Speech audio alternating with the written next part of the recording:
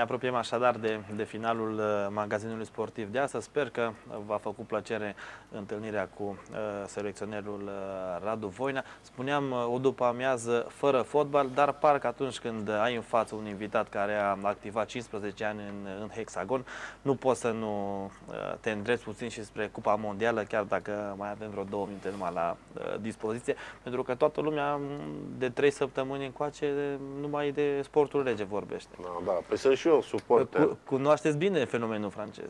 Îl, îl cunosc, nu știu, poate e mult spus să-l cunosc. În orice caz îl, îl urmăresc, poate e mai bine spus. Și sunt și eu un uh, suporter, așa, ca orice suporter, dar zic eu civilizat.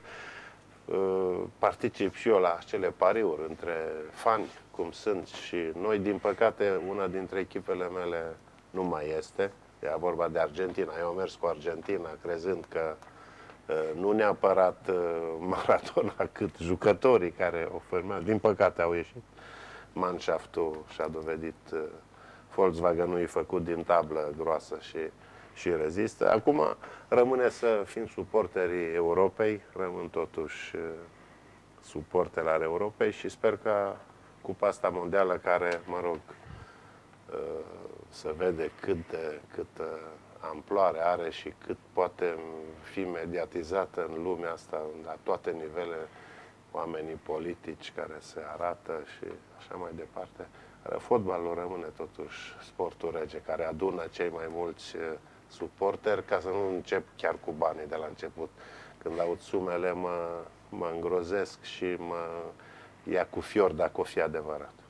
Da, acum știți cum e, uh, orice poveste are un sâmbure de adevăr, uh, că e mai mic sau mai mare, dar cu siguranță există. Încă o dată, mulțumiri uh, selecționerului Radu Voina pentru uh, faptul că a acceptat invitația de a uh, dialoga împreună în această după amiază. Sperăm noi o uh, după amiază relaxantă, uh, care să vă fi făcut uh, vacanța uh, puțin mai plăcută în această după amiază.